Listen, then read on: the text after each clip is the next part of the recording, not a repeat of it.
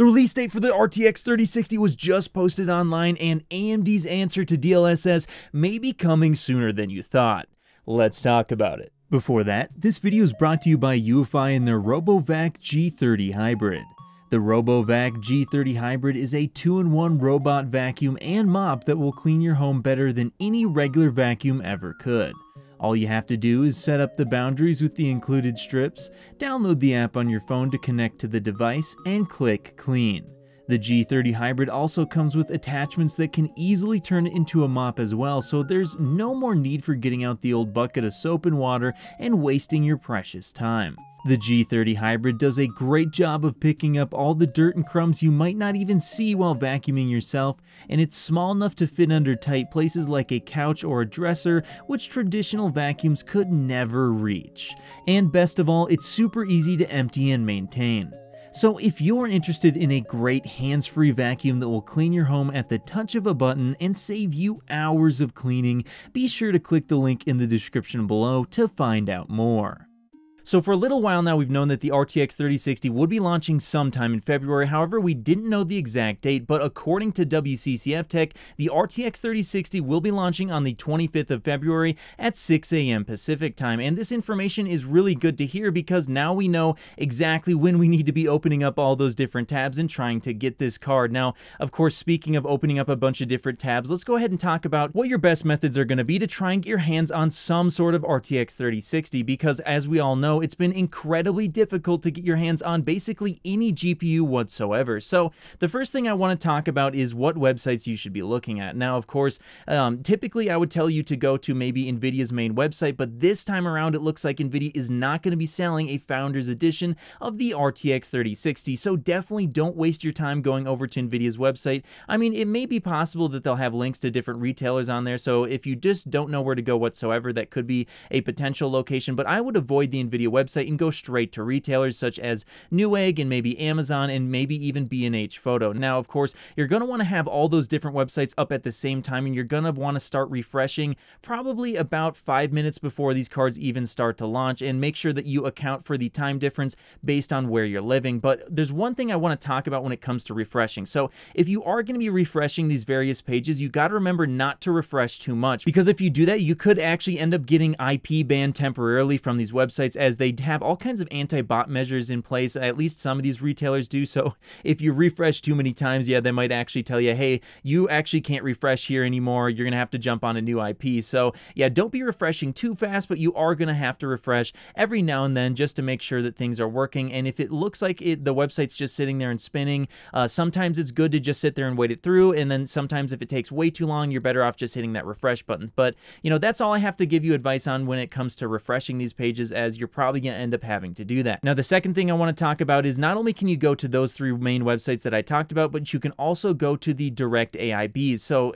the one I want to talk about specifically is EVGA. Now, if you've been trying to get an RTX 30 series card, you've probably heard about the EVGA queue system, and that might actually be your best chance of getting an RTX 3060 this time around.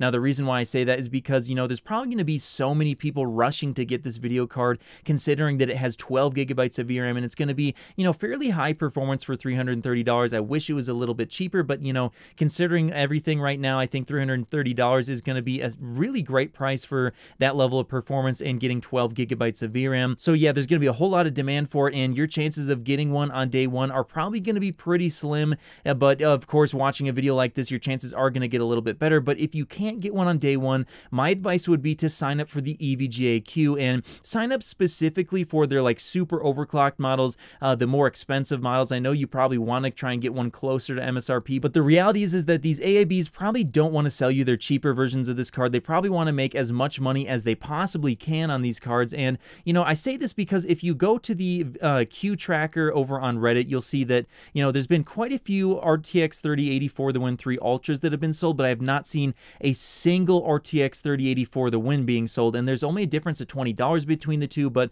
it looks like the more expensive one, at least from what I can tell, they've been selling uh, a decent decent amount of those, but not a single R RTX 3080 for the Win 3 uh, non-ultra version has been sold. So I wouldn't be surprised if that's the same uh, thing that happens here. So yeah, sign up for a queue basically uh, if in, within the first five minutes. If you do that and you sign up for one of the more expensive cards, you know, within a week, two weeks, maybe even a month, you'll probably end up getting uh, your card. Now, of course, if you sign up within two minutes, but you end up being like number 1,000 in the queue, well, then you might not get that card for a little while here. But, you know, either way, that does give you a much better chance of eventually getting your hands on that card. And that also most likely guarantees that if the price increases in the future, they'll probably honor the original price that you were guaranteed when you signed up for that queue because that's what they did with the RTX 3080. I know that I was able to get an RTX 3080 and the one that I got was supposed to be $900 now, but they honored the original $820 price point. So yeah, that's another reason why I would highly suggest that you sign up for that queue. But enough talking about scrambling to try and get a video card. Let's talk about AMD's competitor to DLSS. So in an article posted online by